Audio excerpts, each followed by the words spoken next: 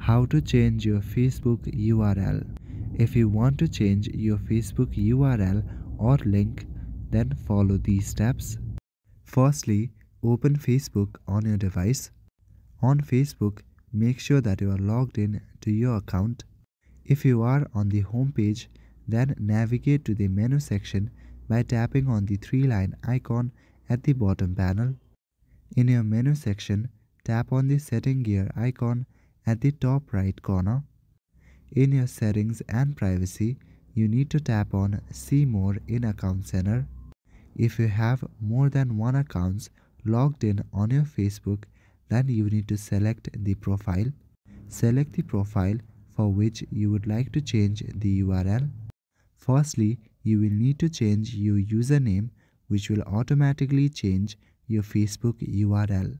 Select username. Change your username to however you want your URL to be. Here at the top, you will see a short description. It says changing your username will also change your Facebook profile URL at facebook.com slash username. After you are done, click on done at the bottom to save your changes. So that is it for this video. I will see you in the next one. Thank you.